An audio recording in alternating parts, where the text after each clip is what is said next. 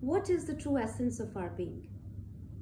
Under Einstein's theories, sound waves require a material media to transmit. Light is a phenomenal mystery.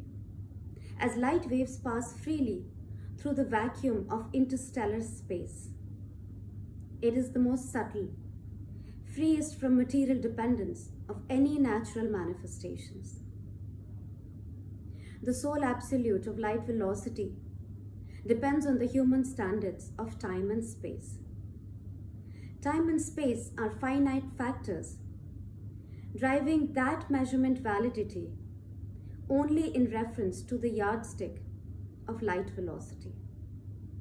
In later developments, Einstein's unified field theory embodies in one single mathematical formula the law of gravitation and of electromagnetism reducing the cosmical structure to variations under one single law.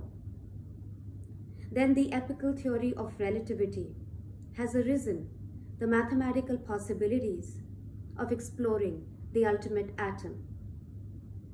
Scientists have researched and boldly assert that atom is not only energy rather than matter, but atomic energy is essentially mind stuff. Further to state Electron has a dual personality, partaking of the characteristic of a particle and a wave. The wave quality thus gave it a characteristic of light, focusing on the electrons in a manner similar to focusing of light by the means of a lens. Moreover, Einstein in his famous equation outlining the equivalence of mass and energy proves that energy in a particle of matter is equal to the mass or weight multiplied by the square of velocity of light. The release of atomic energy is brought about through the annihilation of material particles. Thus, the death of matter is the birth of a new atomic age. As no material body whose mass increases with its velocity can attain the velocity of light. And only a material body whose mass is infinite can equal the velocity of light. It thus proves that the only atomic reality is light. This universe is essentially an undifferentiated mass of light. Light is the only constant.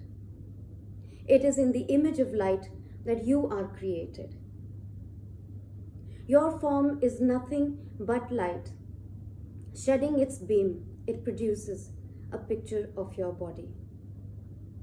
When you connect to the true essence of self, you will realize that you are a part of the cosmic divine light itself. This explains how we know ourselves to be light beings. That is who we truly are. Thank you for your time. This is Ruhi from Heart of Blessings.